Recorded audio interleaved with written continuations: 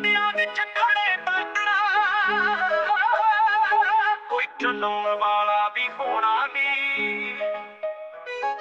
ਸੁਨੀਆਂ ਹੋ ਜਾਣਗੀਆਂ ਮੋਟਰਾਂ। ਕੋਈ ਪਾਣੀ ਲਾਉਣ ਵਾਲਾ ਵੀ ਹੋਣਾ ਨਹੀਂ। ਮਾਲਕ ਦੇ ਬਿਨ ਰੋਂਦਿਆਂ ਦੇਖਿਆ ਹਰੀਆਂ ਭਰੀਆਂ ਫਸਲਾਂ ਨੂੰ।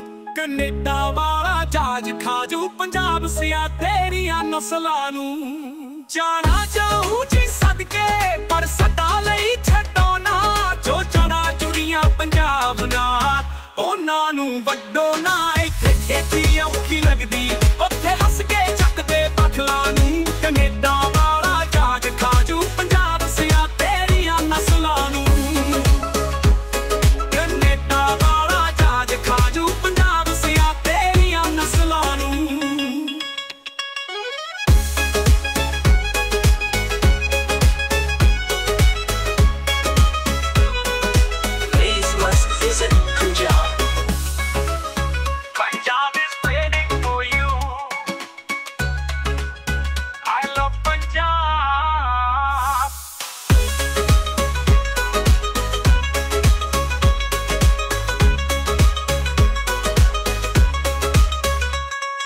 Punjab is waiting for you.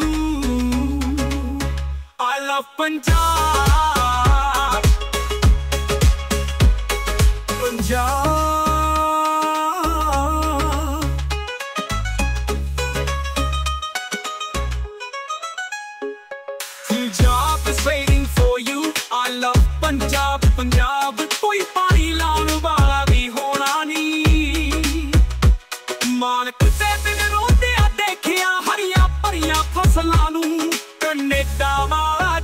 Khaju Punjab ਸਿਆ ਤੇਰੀਆਂ ਨਸਲਾਂ ਨੂੰ। ਪੰਜਾਬ ਸਿਆ ਤੇਰੀਆਂ ਨਸਲਾਂ ਨੂੰ। ਜਾਣਾ ਜਾਊ ਜੀ ਸਦਕੇ ਪਰ ਸਦਾ ਲਈ ਛੱਡੋ ਨਾ।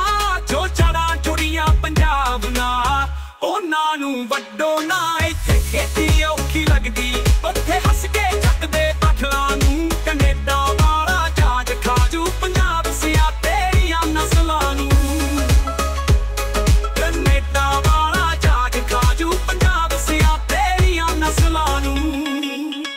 Must visit Punjab.